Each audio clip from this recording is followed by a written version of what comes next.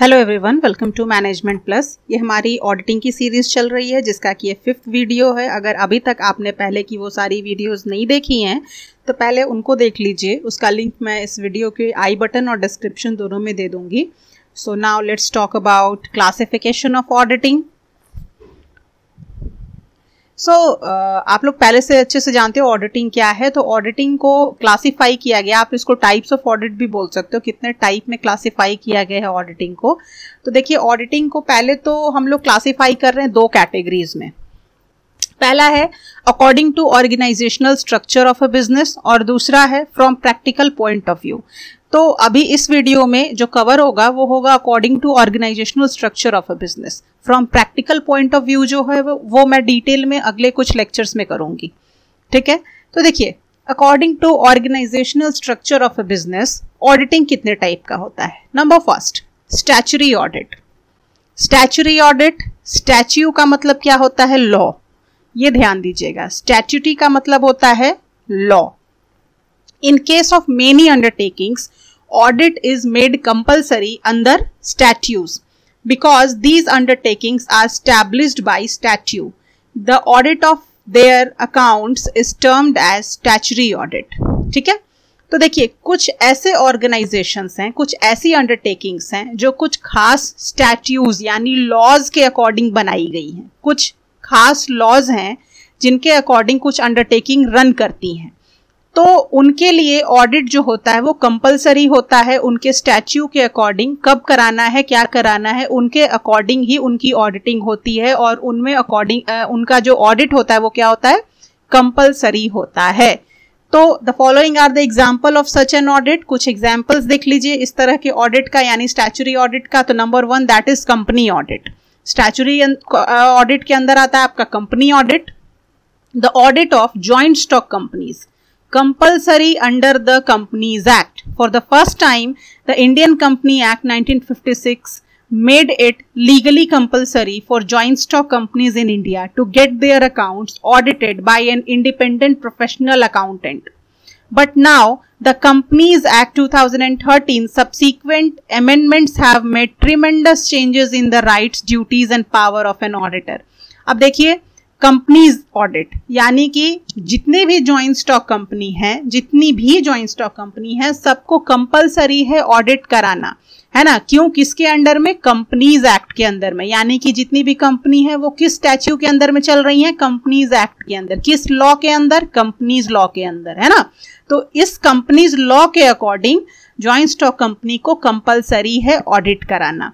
पहले 1956 था companies act का, जिसके अकॉर्डिंग ये कंपलसरी किया गया था कि जितनी भी ज्वाइंट स्टॉक कंपनी है, उनको फिनेंशियल ईयर के एंड में ऑडिट कराना मैंडेटरी है एक इंडिपेंडेंट प्रोफेशनल अकाउंटेंट के द्वारा। लेकिन बहुत सारे अमेंडमेंट्स होते गए, बहुत सारे चेंजेस आते गए, और बहुत सारे चेंजेस देखने को मिले कंपनीज़ एक्ट 2013 में, जब वो नया आया, उसमें और भी राइट्स बढ़ाई गई ड्यूटीज़ बढ़ाई गई पावर्स बढ़ाए गए ऑडिटर के। Next one that is audit of trust. Trust are usually created for the benefit of the weak and helpless person like widows, minors who are not in a position to have access to and understand the accounts of such trust. Therefore, the trustee are made responsible to look after the property and to maintain accounts. अब देखिए trust क्या है trust जो होता है वो create ही होता है वीक लोगों के बेनिफिट के लिए वीक लोग कुछ भी हो सकते हैं माइनर हो सकते हैं विडो हो सकते हैं पुअर पीपल हो सकते हैं। तो मतलब जो भी वीकर सेक्शन है उसके लिए हम ट्रस्ट बनाते हैं। तो ट्रस्ट में क्या होता है कि अब सारे लोग जो हैं वो इस आ, जो सारे लोग हैं वो अकाउंट्स को अच्छे से समझ नहीं पाते। तो इसलिए क्या होता है कि जो ट्रस्टी होता है ट्रस्ट का उस पर ये रिस्पॉन्सिबिलिटी आती है कि आप सारे अकाउंट को मेंटेन करिए जो भी प्रॉपर्टी है ट्रस्ट की आप उसका लुक आफ्टर करिए। ठीक है? But in a large number of cases, the trustees either do not maintain accounts at all or if they are forced to do so, such accounts are often misleading.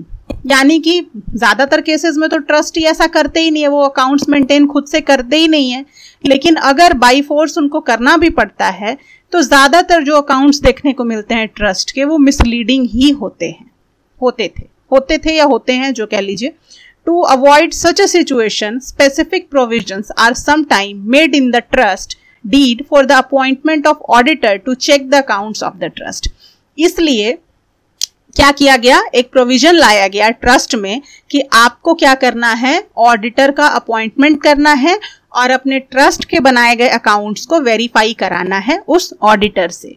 In some of the state in India public trust act has been enacted which provide for compulsory audit of the accounts of trust by qualified auditor यानी कि कुछ states में India के कुछ state जैसे महाराष्ट्र हो गया, इन सारे स्टेट में पब्लिक ट्रस्ट एक्ट काम कर रहा है।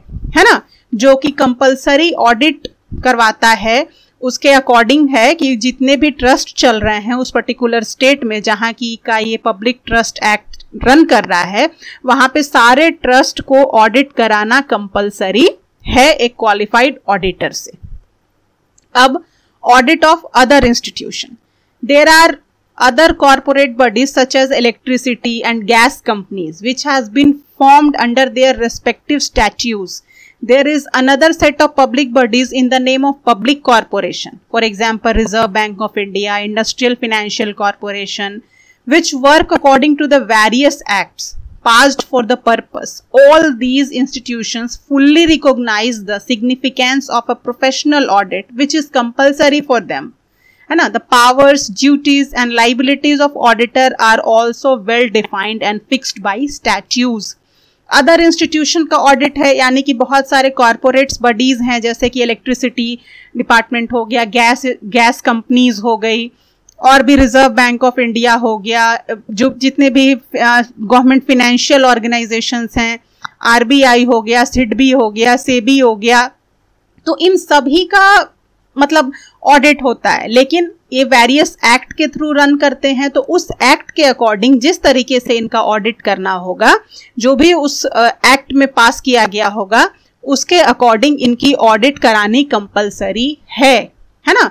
The powers duties and liabilities of auditor are also well defined and fixed by statutes किस तरीके से ऑडिट करानी है? कब ऑडिट करानी है?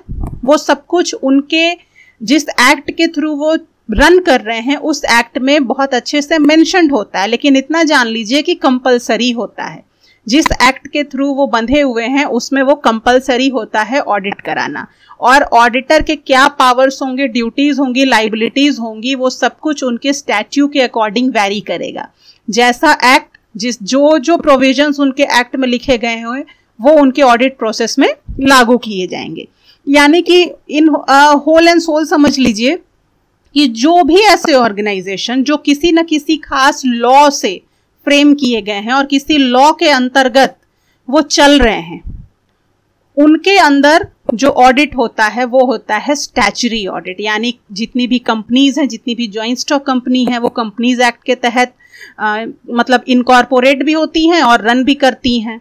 तो वो उनके अंदर जितनी भी ज्वाइंट स्टॉक कंपनी में जो ऑडिट होगा वो किसके थ्रू कंपलसरी किया जाता है? वो कंपनीज़ एक्ट के थ्रू कंपलसरी किया जाता है। तो जो भी ऑडिट होंगी, क्योंकि वो कंपनीज़ एक्ट के कारण कंपलसरीली ऑडिट हो रही हैं तो इस तरीके के ऑडिट को हम बोलते हैं statutory audit next one that is private audit the institutions which are private in character also get their accounts audited by some qualified auditor. As such, an audit is not required by statute. It is known as private audit. देखिए, यहाँ पे statute के according यानी कि law के according mandatory नहीं किया गया है इन लोगों को। इस तरीके के इंस्टीट्यूशंस को मैंडेटरी नहीं है ऑडिट कराना लेकिन वो स्वेच्छा से ऑडिट करवाते हैं। अपने बुक्स ऑफ़ अकाउंट के बारे में पता लगाने के लिए ऑडिट कराते हैं। उनके उनके साथ ऐसा कोई आ, मतलब बॉन्डिंग नहीं है कि आपको कराना ही कराना है। कोई ऐसा कंपलसरी उनको कहा नहीं जाता लेकिन वो खुद से कराते हैं। तो ऐसे ऑडिट को हम बोलते हैं प्राइवेट ऑडिट। है ना? तीन तरह के ऐसे इंस्टीट्यूशन होते हैं। पहला है audit of the account of sole trader है ना? Sole trader sole proprietor the appointment of an auditor in case of a proprietary concern rest absolutely on the proprietor his right duties and nature of work will depend upon the terms given in the agreement such an auditor must get clear instruction in writing by his client as to what he has to do and how he has to proceed so that he can be held responsible for any charge of negligence and by producing the agreement he can protect himself against such a charge अब देखिए soul trader sole proprietor भाई कहीं भी ऐसा कोई law नहीं है जो सोल ट्रेडर पे लगता हो सोल ट्रेडर चाहे तो ऑडिट करा सकता है ना चाहे तो ना करा सकता है है ना तो वो अपॉइंट करता है ऑडिटर को अपने प्रोप्राइटरी कंसर्न के ऑडिटिंग के लिए। अब वो उसकी राइट्स एंड ड्यूटीज़ हैं कि वो किस तरीके से ऑडिटर से काम लेना चाहता है। है ना? उस पर कोई भी लॉ का बॉन्ड मतलब मैंडेशन नहीं है कि आप इसी तरीके से आपके फर्म में ऑडिट होगा। जैसे कि अगर कोई ज्वाइंट स्टॉक कंपनी है तो जैसा कंपनीज़ एक्ट कहेगी, वैसा उसको ऑडिट परफॉर्म करवाना पड़ेगा अपने ऑर्गेनाइजेशन में। लेकिन यहाँ पे नहीं है। यहाँ पे जैसा सोल ट्रेडर चाहेगा, उस तरीके से वो ऑडिट करा सकता है। वो अपने ऑडिटर को क्लियर इंस्ट्रक्शन दे देता है रिटर्न में कि भाई आपको क्या करना है, किस तरीके से ऑडिट को परफॉर्म करना है, और ये रिटर्न में इसलिए दिया जाता है ताकि अगर ऑडिटर किसी तरह का नेग्लिजेंस करे तो वो उन सारे नेग्लिजेंस के लिए रिस्पॉन्सिबल हो, क्योंकि सोल ट्रेडर ने वो सारी जिम्मेवारी किसको सौंपी है ऑडिटर को सौंपी है। क्लियर कट रिटर्न में दिया है कि आपको क्या करना है, कैसे करना है। अगर उसमें किसी तरह का नेग्लिजेंस होता है तो उसके लिए रिस्पॉन्सिबल ऑडिटर होगा, क्योंकि यहाँ पे रिटर्न एग्रीमेंट हो रहा है ऑडिटर और क्लाइंट के बीच में।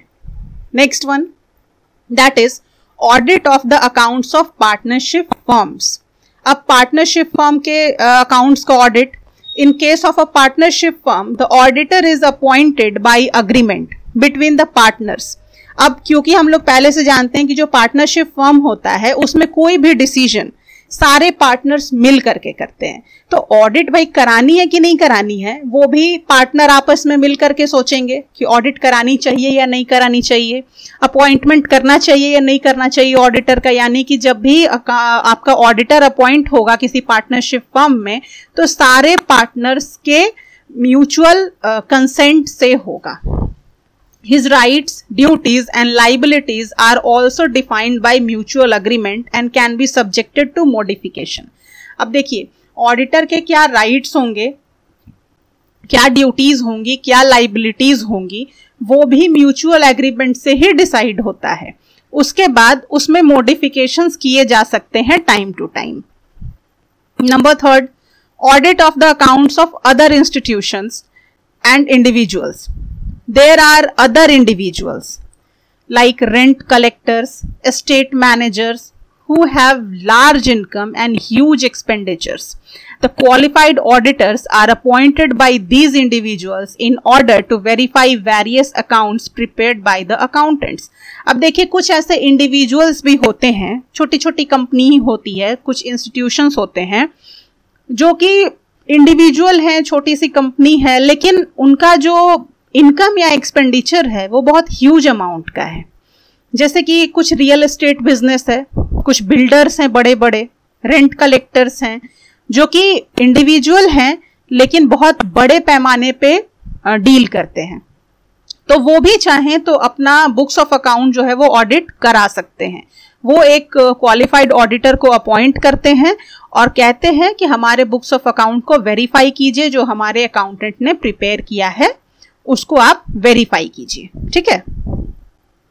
Third one that is government audit the government maintains a separate department in the name of accounts and audit department which perform the audit of its different departments and office अब देखिए government हर government में एक audit and accounts विभाग होता है। जैसे आपने सुना होगा controller of defence accounts CDA controller of defence accounts वो क्या करते हैं?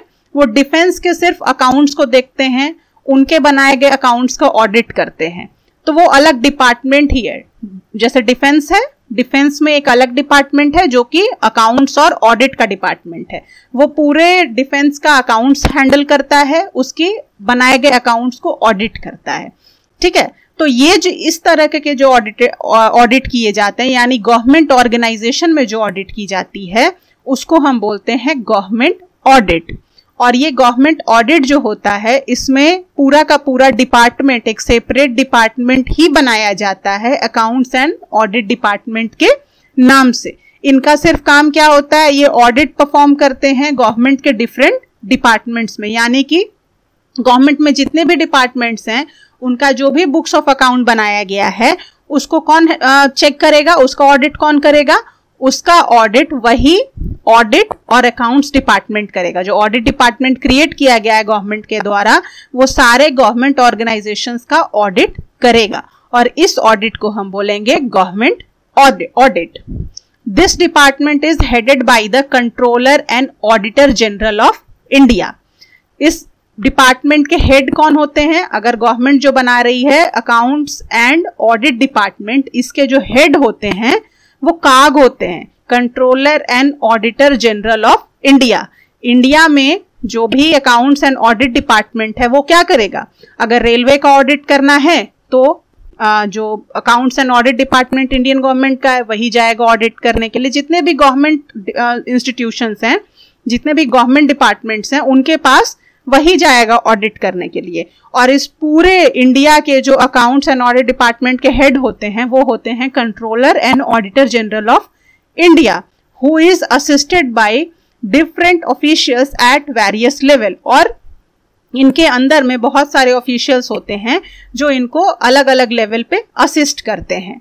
The duties and liabilities of such auditors are not defined by statutes they are not public and hence can not be appointed auditors for public concern they are meant for government departments and as such they work according to departmental rules and instructions इन पे किसी भी तरह का कोई जो law है, जैसे कंपनी लॉ हो गया इंश्योरेंस एक्ट हो गया, इस तरीके का कोई भी एक्ट या लॉ नहीं रन करता, है ना? क्योंकि ये पब्लिक ऑडिटर नहीं होते ये इनको कोई भी दूसरा पब्लिक कंसर्न जो है एज ए ऑडिटर अपॉइंट नहीं कर सकता। ये सिर्फ़ ऑडिटर होते हैं गवर्नमेंट डिपार्टमेंट के लिए ही। और जिस डिपार्टमेंट में जाते हैं ऑडिट परफॉर्म करने के लिए, उसके रूल्स और उसके इंस्ट्रक्शंस के अकॉर्डिंग ऑडिट को परफॉर्म करते हैं। ठीक है? ये हो गया आपका government audit next that is internal audit by virtue of the organisational pattern some business institutions appoint auditor who are made responsible to have a constant and regular review of their account. Such auditors are of a permanent nature and are known as internal auditor अब देखिए कुछ organisation बहुत sensitive होती हैं अपने आ, अपने accounts को लेकर के बहुत ज़्यादा कॉन्शियस रहती हैं कि मेरे ऑर्गेनाइजेशन में जो बुक्स ऑफ़ अकाउंट बनाए जा रहे हैं, उसमें किसी तरह का कोई फॉल्ट ना हो, किसी तरह का कोई एरर ना हो, बिल्कुल सही मायने में काम करती हैं। वो चाहती हैं कि मेरा जो जो भी बुक्स ऑफ़ अकाउंट बनाया जा रहा है, जो भी हमारे मैनेजमेंट में काम हो रहा है, वो रेगुलर बेसिस पे रिव्यू होता रहे। तो उसके लिए वो एक ऑडिटर अपॉइंट करते हैं, जो कि परमानेंट नेचर का होता है। वो उस पर्टिकुलर ऑर्गेनाइजेशन का ही ऑडिटर होता है, वो कहीं बाहर नहीं काम करता, वो उसी ऑर्गेनाइजेशन के लिए काम करता है और वो परमानेंट बेसिस पे काम करता है। हमेशा वो अंदर ही अंदर सारे बुक्स ऑफ़ अकाउंट को रेगुलर बेसिस पे चेक करता रहता है कि ऑर्गेनाइजेशन में कहीं अकाउंट्स में कोई गलती तो नहीं हो रही है, कोई प्रॉब्लम तो नहीं हो रहा है है ना? तो इस तरह के ऑडिटर को हम इंटरनल ऑडिटर बोलते हैं। और ऑर्गेनाइजेशन के अंदर में जो ये इंटरनली ऑडिट का प्रोसेस चल रहा होता है, इसको हम इंटरनल ऑडिट बोलते हैं। Such auditors besides checking the accounts are required to report also as to how the system of accounting can be improve and the system of internal check can be made economical and efficient अब देखिए, वहाँ पे जो auditor आता है, जो साल में लास्ट टाइम में आता है, वो क्या करता है? वो रिपोर्ट बनाता है और बताता है कि आपके बुक्स ऑफ़ अकाउंट में कहाँ पे प्रॉब्लम है है ना? और इसको आप कैसे टैकल कर सकते हो? लेकिन जो इंटरनल ऑडिटर होता है, वो क्या करता है? उसको भी रिपोर्ट देना होता है। वो क्या रिपोर्ट में बताता है? कि how the system of accounting can be improved यानी कि आप जो अकाउंटिंग का प्रोसेस जो सिस्टम चला रहे हो अपने ऑर्गेनाइजेशन में, उसमें और किस तरीके से इम्प्रूवमेंट आ सकता है, वो सजेशन देता है। उसके बाद वो ये बताता है कि आपका जो इंटरनल चेक सिस्टम है, उसको और किस तरीके से ज़्यादा इकोनॉमिकल और इफिशियंट बना सकते हैं। यानी कि इकोनॉमी को भी ध्यान में रख सकते हैं और ज़्यादा सुचारू रूप से कैसे आपका इंटरनल चेक काम कर सकता है। ये सारे सजेशंस वो अपने रिपोर्ट में देता है। और साथ साथ बुक्स ऑफ़ अकाउंट को भी रेगुलर बेसिस पे चेक कर रहा होता है। They can not be appointed as public auditor और external auditor and hence are not required to submit their report in the manner in which external auditor do वो क्योंकि इंटरनल ऑडिटर है तो वो as as a public auditor यानी कि external auditor के तौर पे वो कभी भी काम नहीं कर सकता। वो उस तरीके से रिपोर्ट कभी भी सबमिट नहीं कर सकता, जिस तरह से एक एक्सटर्नल ऑडिटर जो कि साल में एक बार फिनेंशियल ईयर के एंड में आता है, उस तरीके से वो कभी भी रिपोर्ट सबमिट नहीं कर सकता in short internal audit is the examination of books of account which is conducted by the salaried officials of a business known as internal auditor throughout the year. The scope of internal audit is a bit different, है ना यानी कि in short देखा जाए तो internal audit क्या है? Books of examination है। यानी बुक्स ऑफ़ अकाउंट का एग्जामिनेशन है, जो कि एक इंटरनल ऑडिटर के थ्रू किया जा रहा है। आप कह लीजिए कि वो उस ऑर्गेनाइजेशन का एक स्टाफ है। एक इंटरनल स्टाफ है, जिसको कि सैलरी मिलती है। और वो रोल क्या अदा करता है? ऑडिटर का अदा करता है। इंटरनली बुक्स ऑफ़ अकाउंट को चेक करता रहता है और रिपोर्ट बनाता है और बताता है कि भाई आप में क्या क्या बदलाव और लाने की ज़रूरत है? किस तरीके से आपका इंटरनल कंट्रोल सिस्टम और अच्छा हो सकता है? उसको सैलरी दी जाती है इसके लिए। It is more closely related to managerial function than to accounting duties है ना? एक तरह से ये मैनेजेरियल फ़ंक्शन ही अदा कर रहा होता है। अब देखिए, हमने फ़र्स्ट देख लिया। सेकंड हमारा जो क्लासिफिकेशन था that is from practical point of view तो इसमें जो था प्रैक्टिकल पॉइंट ऑफ़ व्यू में बहुत सारे तरह के ऑडिट आते हैं। That is continuous audit detail audit periodical audit interim audit occasional audit partial audit balance sheet audit cash audit cost audit ये आठों टाइप के ऑडिट होते हैं।